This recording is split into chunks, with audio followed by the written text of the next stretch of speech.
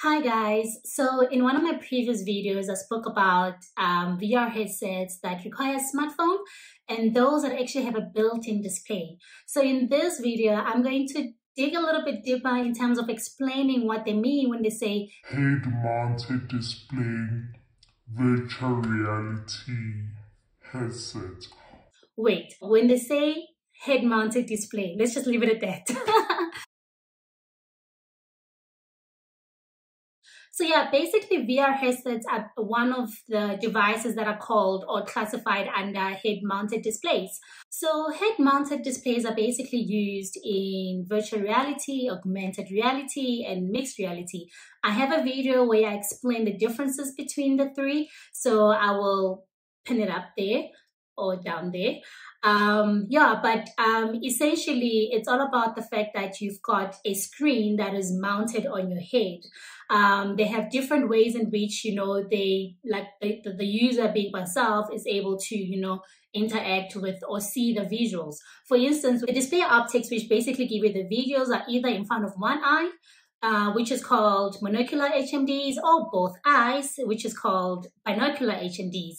So with with regarding binocular HMDs, these ones actually give you a larger field of view. I actually have a video on, you know, um, what actually impacts field of view. So this, you know, you're able to basically have this um, larger field of view because of the, you know, the, the binocular vision that comes from having both of the display optics in front of each eye.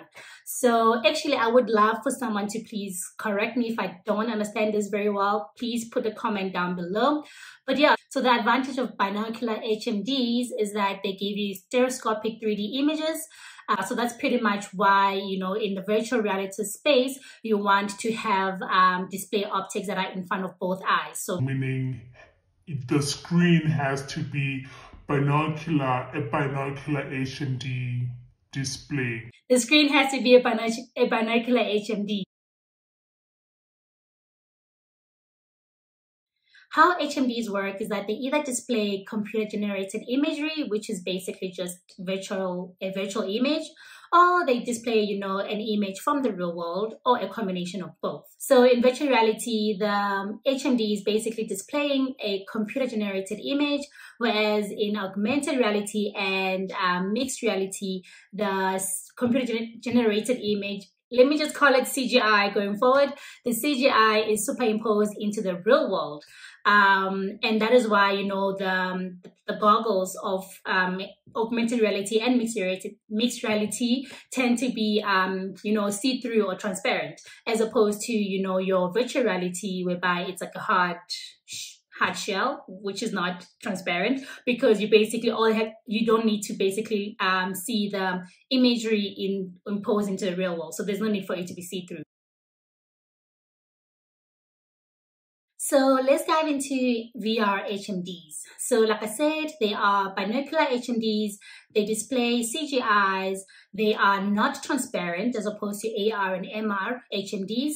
Um, and in addition to that, the type of um, display technology used has to be of high resolution, and they generally come with um, uh, IMUs, which is basically a tracking device that makes sure that you know when you're moving your head, um, the image is actually moving according to your point of view. And how this works is that the tracker would basically tell the CPU where you are looking, and the CPU will then send the correct image to the HMD, and then the HMD will then, you know, display the, um, the, the screen. In actual fact, you have your head movement, right? Um, whereby the tracker will then is listening out to your head movement, uh, tells the CPU, you know what, this person is looking here. The CPU speaks to, you know, your graphics processing unit, which is a GPU. The GPU then sends through the images to the display, and the display will then display basically the, the image to your eyes. So now if we get to the three types of VR HMDs, we've got your smartphone or slide on, um, HMD, there is your integrated HMD and your discrete HMD. So your smartphone mounted VR headsets uh, is basically the most basic type of um, HMD or VR HMD. So an example of these is your your famous Google Cardboard, your Bobo VR, your Samsung Gear, And basically all, all that means is you need to have a smartphone which you slide onto um, the headset, which is now what we call the mount, which is where the mounted part comes in. So the smartphone basically does all the work. Um, the app is, down, is downloaded on the smartphone. The graphics are displayed on the smartphone. The tracking of your head movements are done by the smartphone as well as the sound. In actual fact, when it comes to tracking, apparently the, the Samsung Gear does its own tracking. So I wonder how that actually works. Um, but yes, and then, you know, you also have your Bobo VRs that have, you know, um, what you call as headsets on, um, on them. So instead of listening to the audio through the phone, the smartphone itself, you're actually listening through the headsets, which is pretty dope. The second type of a VR head-mounted display is an integrated HMD. An example of this is your famous Oculus Quest 2. So this is basically your all your all-in-one type of um, HMD. So, you know, it does, you, you, download the app on the headset itself. Um, it does its own processing. It does its own tracking. And, it, and the nice thing is that um, with a lot of these ones, they do 6DoF tracking as opposed to, you know, your smartphone ones that, that do 3DoF tracking. Um, the sound also comes from um, the headset itself. So yeah, it's it's pretty dope because you know you have everything in one device as opposed to you know the smartphone where you need to buy an extra device just to have a complete unit. So now the last one is your discrete HMD. So an example of this is again actually the Oculus Quest 2 because it actually um, acts as both an, a, an integrated and a discrete um, HMD. But then um, the Oculus Rift would be a great example. Your HTC, HTC Vive is another great example, and as well as your PlayStation VR.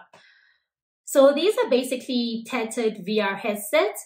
I have a video about what's the difference between a tethered and a wireless VR headset. I'll put it up here.